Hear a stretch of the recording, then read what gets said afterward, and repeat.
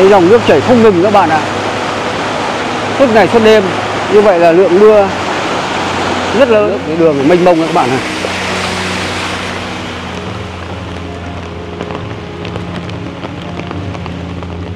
trông tan hoang chưa? Tiêu điều chưa? Thiệt hại rất lớn với thủ đô Hà Nội về hệ thống cây xanh đã được trồng và chăm sóc ở đây bao nhiêu năm rồi 15 giờ 30 ngày 11 tháng 9 tức là sau 4 ngày mà tàn dư hậu quả vẫn như thế này. Vẫn chưa khắc phục xong các bạn ạ. Đây cây to chưa? Đây, các bạn nhìn nhé. 1 2 3 4 5 6 7 8 cây. Đổ gục hết.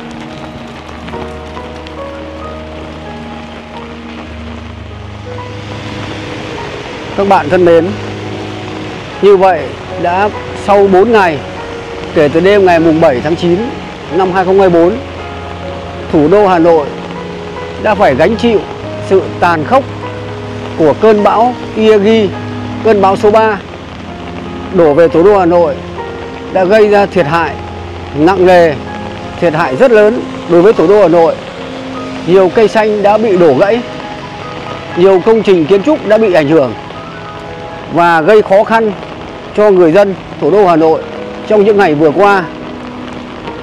Và ngày hôm nay là ngày 11 tháng 9 năm 2024 đã trải qua 4 ngày sau thiệt hại nặng nề của cơn bão Yagi, cơn bão số 3 và tiếp tục thủ đô Hà Nội gánh chịu phải những trận mưa kéo dài thâu đêm suốt sáng và cả ban ngày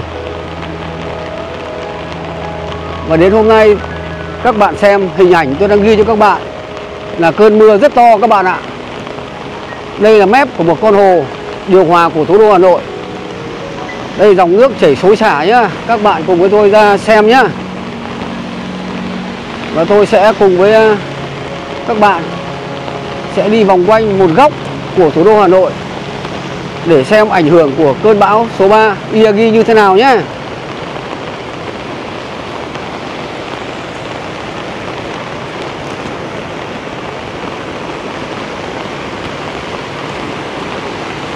Đây là một cái cống xả lũ chính trong khu đô thị và khu dân cư chảy ra đây các bạn ạ. Đấy các bạn nhìn xem, dòng nước rất dữ dội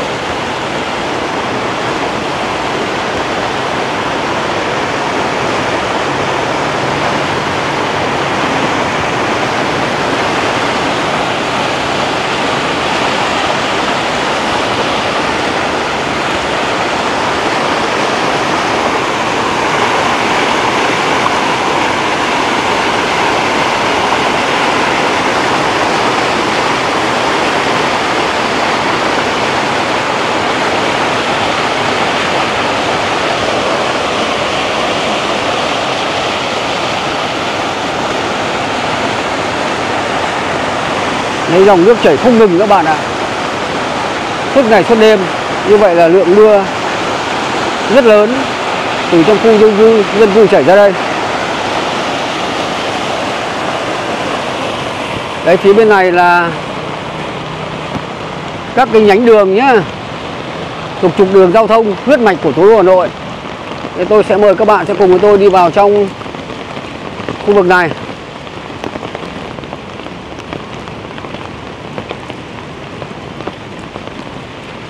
Đây, nước nước ngập hết cả cái đường đi rồi các bạn ạ.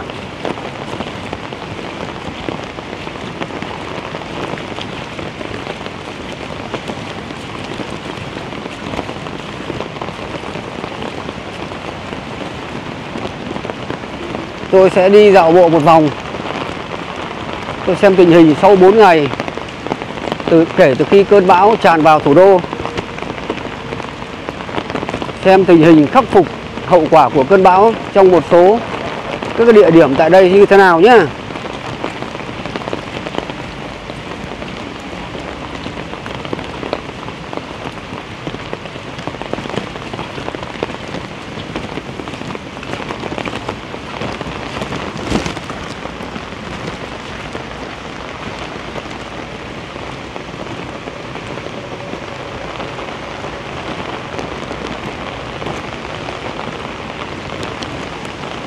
Đây các bạn xem hồ nước này. Đây là cái hồ Linh Đàm các bạn ạ. Nước càng ngày càng dâng, dâng cao. Các bạn nhìn thấy các cái trụ cầu không? Đây, Hiện nay các cái trụ cầu này Nước đã gần ngập hết rồi. Chỉ còn mấp mé thôi. Khoảng hơn một mét nữa. Có chỗ còn khoảng mét rưỡi 2 mét. Còn phía thấp thì còn khoảng gần một mét nữa Thì là sẽ Cái hồ này sẽ đầy. Và có thể tới ờ, Ngập tới ờ, gầm cầu các bạn ạ. Đấy, Phía trên kia là đường vành đai 3 trên cao. Thì tôi sẽ cùng với các bạn đi lên ờ, phía trên cái đường vành đai ba trên cao nhé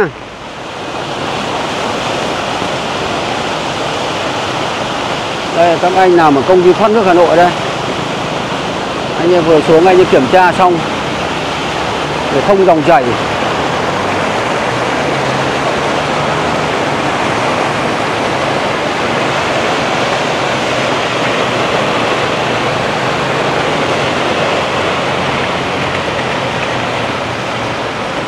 Đây, dưới mép hồ là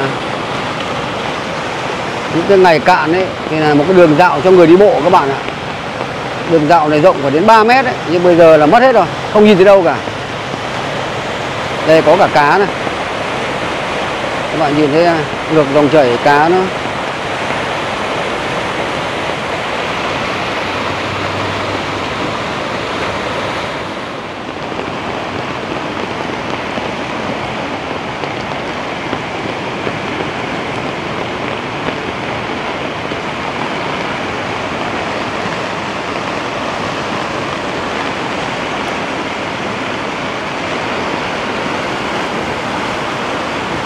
Đây tôi nhìn thấy này. Như vậy là dòng nước chảy rất xiết các bạn ạ. Rất nhiều cá bơi ngược dòng. Đây tôi thấy có có cả những con cá nhảy lên bờ. Sau đó trượt Trượt mình và nhảy xuống dòng nước các bạn ạ. Đây là rất nhiều cá như cá vàng này, cá cảnh như này. Đây, cá vàng, cá chép nhật này. Các bạn nhìn thấy không? Đấy màu hồng ấy.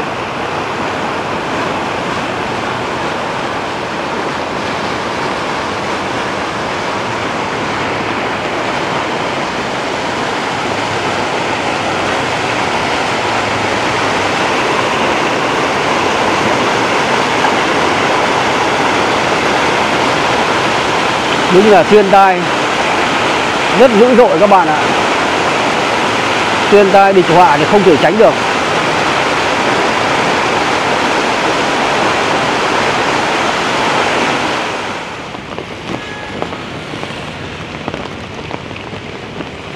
Mưa vẫn đang tiếp tục các bạn ạ. Mưa rất mau và rất nặng hạt.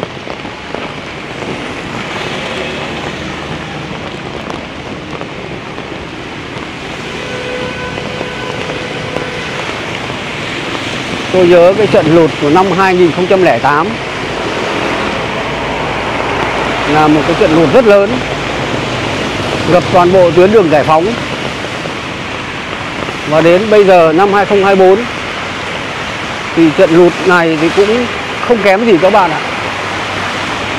Tiếp diễn của bão, hết bão, xong lại đến mưa lớn, lũ lụt đây các dòng phương tiện vẫn di chuyển trên con đường này các bạn nhé. Đây đường à, quanh cái hồ đi đàm.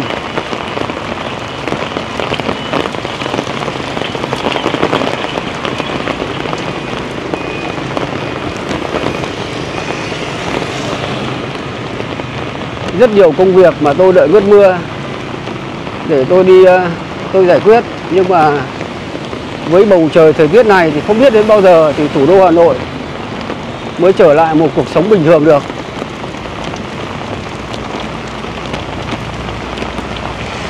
Ở phía trước mặt các bạn ấy là đường vành đai ba trên cao. Là một con đường các phương tiện giao thông là di chuyển từ cầu Thanh Trì, từ phía bên kia của quận Long Biên và huyện Gia Lâm vào trung tâm thành phố Hà Nội.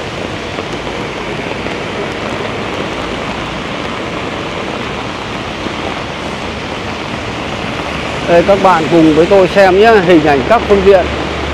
Thì bây giờ là khoảng 15 giờ chiều, ngày 11 tháng 9 năm 2024 ngày hôm qua cái ờ, trục đường vành đai ba từ cầu Thanh Trì về rất đông các bạn ạ. Rất nhiều phương tiện, toàn xe tải thôi. Bởi vì là theo yêu cầu của thành phố là cầu Trương Dương chạy từ quận Hoàn Kiếm sang quận Long Biên đã bị cấm di chuyển của các phương tiện như xe khách, xe du lịch, xe từ 9 chỗ trở lên và xe tải có trọng tải 0,5 tấn đều được không được di chuyển qua cầu Trương Dương và bắt buộc phải di chuyển qua cầu Trương Dương, à, qua cầu Vĩnh Tuy và cầu Thanh Trì. Đấy như vậy là cái lưu lượng trên cái con đường của cầu Thanh Trì và đường vành, vành đai ba này là rất cao.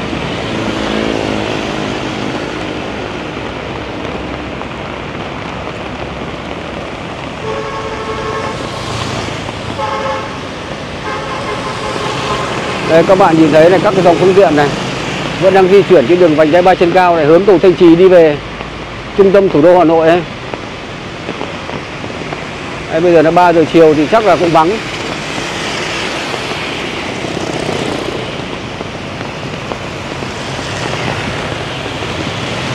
Bây giờ các bạn sẽ cùng với tôi nhé đi tiếp đến một số các cái khu vực khác để chúng ta xem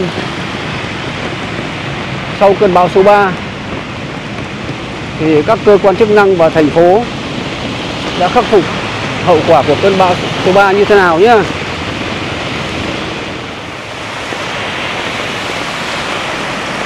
Như các bạn thấy không? Đấy, con đường ngập hết. Mưa kéo dài suốt từ sáng sớm cho đến tận bây giờ là hơn 3 giờ chiều các bạn ạ. Lúc là cơn mưa rất lớn lúc thì này rớt xuống, sau đó lại tiếp tục mưa. Nếu tiếp tục kéo dài như thế này thì thủ đô Hà Nội khả năng là nhiều nơi sẽ bị ngập, bị úng.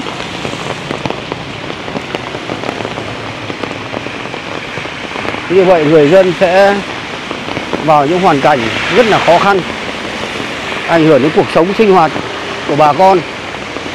Đấy, hiện nay chợ búa các khu vực chợ dân sinh. Chợ bán các cái mặt hàng thiết yếu hiện nay là cũng đã hiếm rồi các bạn ạ.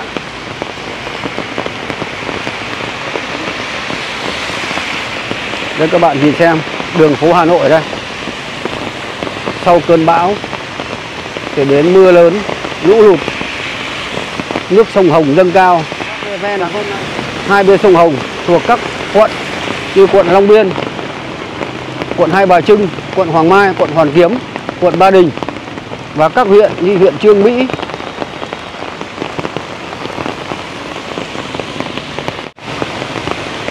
tất cả các huyện mà được trải dài trên triền của sông Hồng hiện nay cũng đang trong cái mực nước báo động các bạn ạ.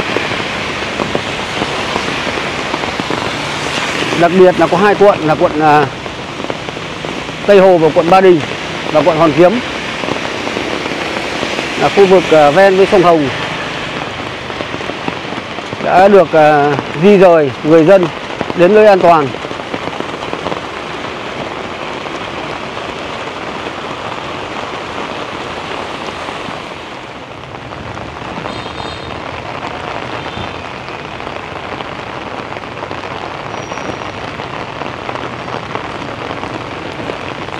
Đây, sau 4 ngày rồi mà cái tàn dư cái hậu quả của cơn bão Yagi gây ra đấy các bạn ạ.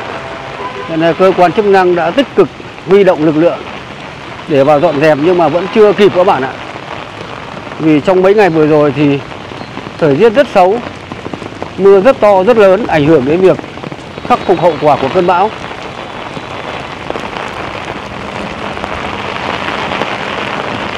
Mưa càng ngày càng nặng hạt các bạn ạ, gió càng to.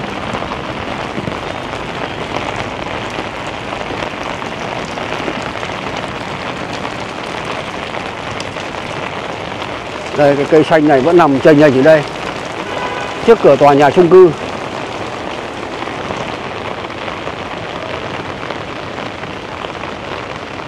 Đây đè bẹp cả vào một chiếc xe máy các bạn à, Chiếc xe máy đổ ở đây này.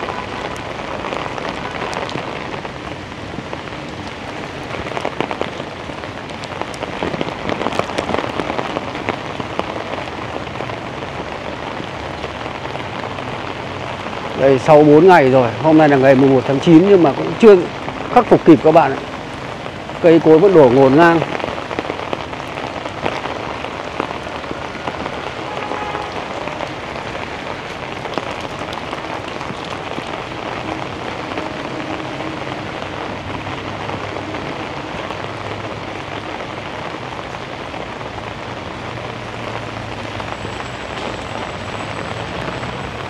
Như một bãi chiến trường luôn các bạn ơi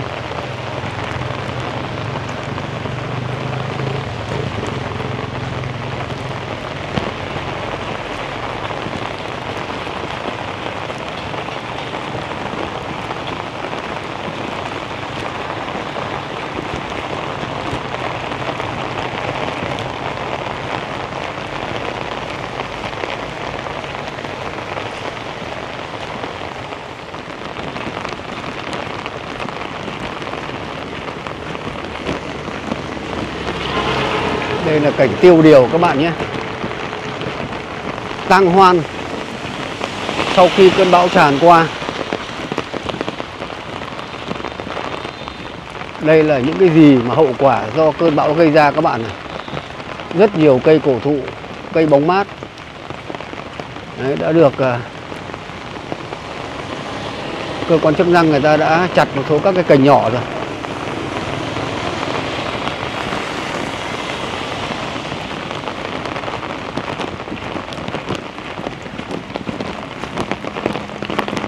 Đây trong này là một cái vườn cây các bạn xem. Trong khu đô thị này. Trông tan hoang chưa? Tiêu điều chưa?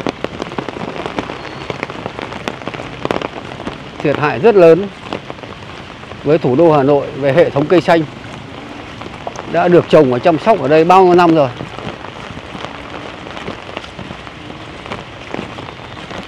Đây, mưa vẫn đang rất to các bạn ơi Đây,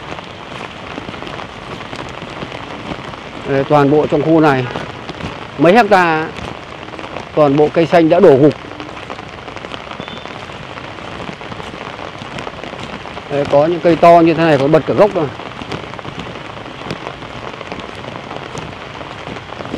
Bật hết cả gốc. Hiện nay do phương tiện và nhân lực là còn bị thiếu cho nên là việc dọn dẹp cái tàn dư sau cơn bão thì thành phố tập trung vào dọn dẹp để giải quyết cái vấn đề lưu thông trên một số các cái tuyến đường trọng điểm thôi. Còn chắc trong các khu đô thị này và các cái khu vực này thì không ảnh hưởng đến người đi. Thế cho nên là sẽ được thu dọn sau khắc phục sau các bạn ạ.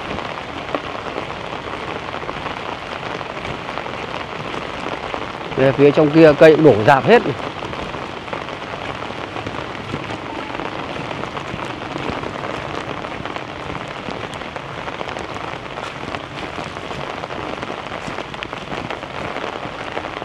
Một vườn cây. Như vậy phải đến ờ, 60 70% số cây đổ. Số còn lại thì cũng bị ờ, sơ xác hết rồi các bạn ạ. Không biết bao giờ thì ờ, cây này sẽ được phục hồi lại. Ảnh hưởng đến cái sự tăng trưởng và sự sống của cây là rất lớn.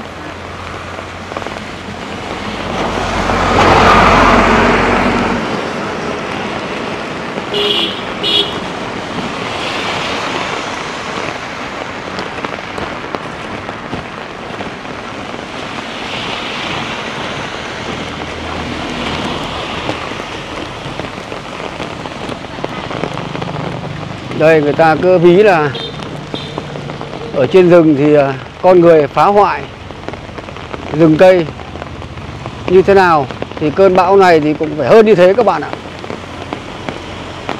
Một trận càn quét của cơn bão số 3 Iagi tàn phá hệ thống cây xanh của thành phố Hà Nội. Hơn cả các cánh rừng do con người gây ra.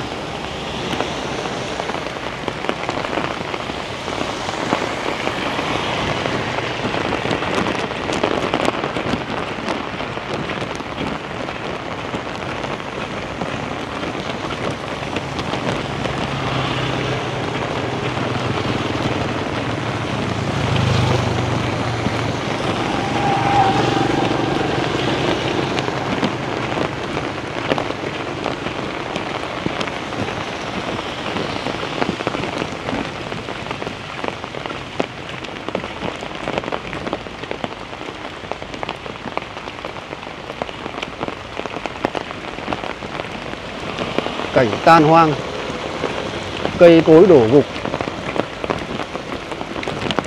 Này, bên à, lòng đường hiện nay mới được à, chặt hạ xuống thôi chứ chưa thu dọn được các bạn ơi. Còn nhiều lắm. Chắc phải hết cái tháng 9 này thì mới thành phố mới tổ chức thu gom xong. Tôi biết là có cả công ty công viên cây xanh của thành phố Huế cũng sẵn sàng ra thủ đô Hà Nội mang phương tiện và nhân lực ra để giúp đỡ thành phố khắc phục sau cơn bão. Đây các bạn nhìn thấy nhé. Hệ thống cây xanh trông xót xa chưa? Đấy, hôm nay là ngày thứ tư sau khi, khi cơn bão Yagi càn quét qua thủ đô Hà Nội sau 4 ngày rồi mà cũng chưa khắc phục được hết. Đấy, tôi ghi thêm cho các bạn xem đi xem nhé về tình hình sau cơn bão như thế nào? Đấy, toàn bộ đường đi lối lại thì được à, dọn dẹp. Đấy, còn hàng cây đổ vẫn chưa được à, vận chuyển đi. Đây có một cái gốc cây rất lớn các bạn này bật hết.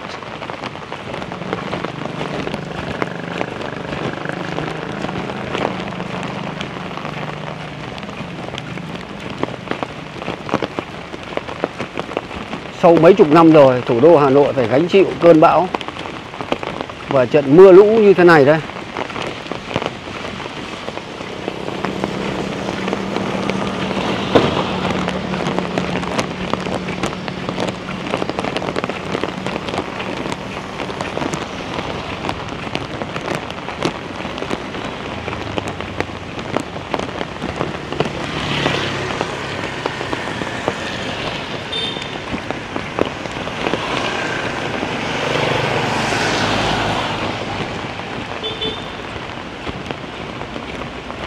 Đây là một góc của thủ đô Hà Nội các bạn ạ.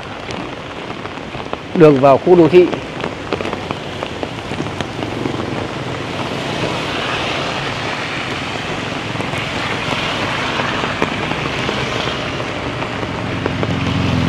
Mưa kéo dài triền miên. Mưa không ngớt.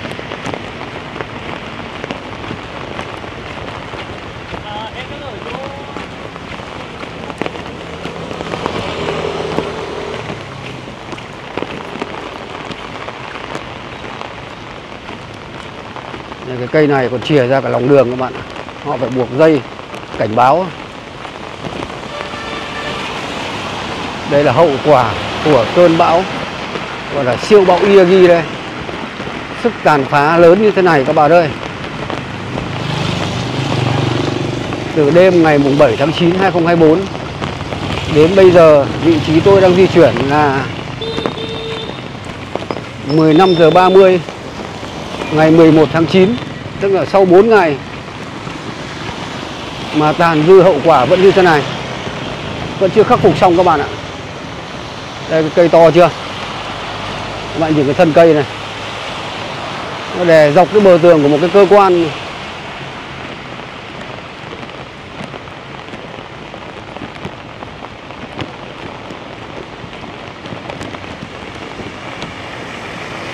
Hậu quả cơn bão số 3 chưa khắc phục xong để gặp lại tiếp tục gặp những trận mưa lớn.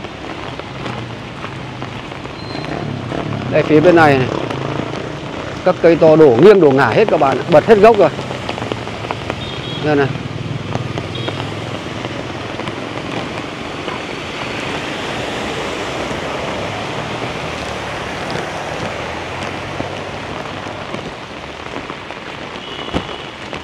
Đây các bạn nhìn nhé 1, 2, 3, 4, 5, 6, 7, 8 cây. Đổ gục hết.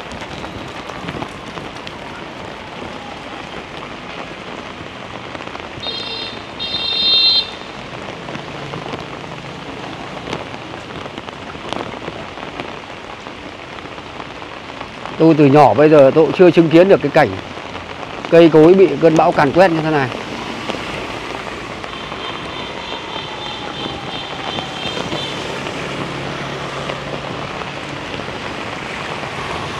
Đây nước dưới đường mênh mông các bạn này.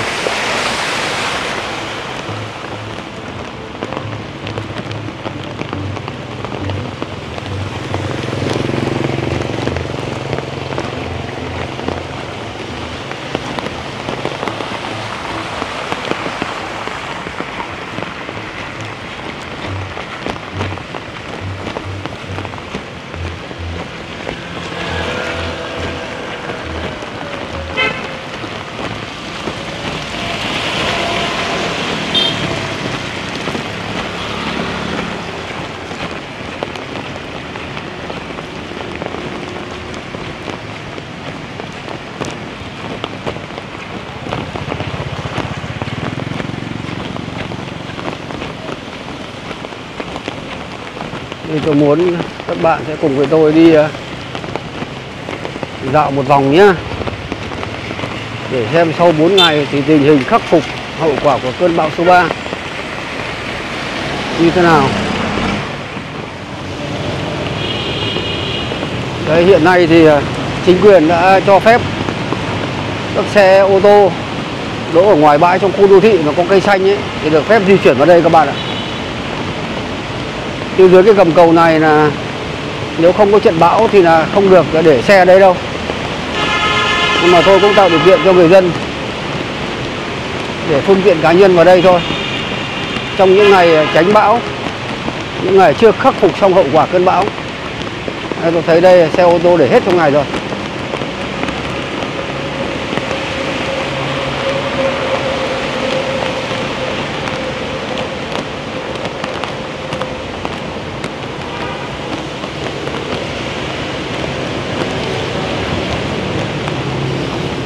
Các bạn sẽ tiếp tục cùng tôi nhé đi dạo thêm một đoạn nữa để xem tình hình. Sau 4 ngày cơn bão gây ra, thì một góc thủ đô Hà Nội như thế nào?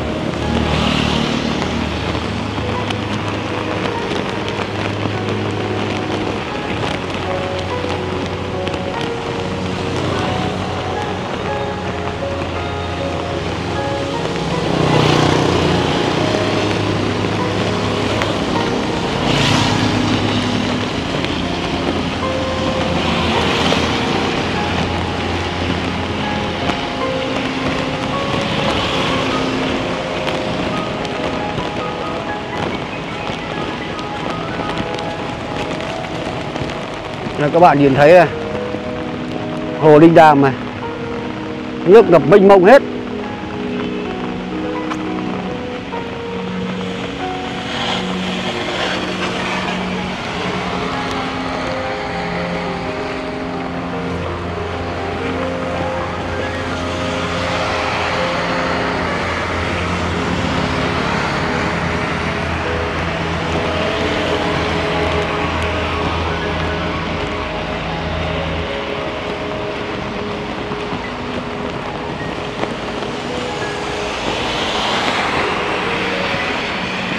Và bây giờ tôi xin được kết thúc cái video tại đây. Cảm ơn các bạn đã quan tâm theo dõi.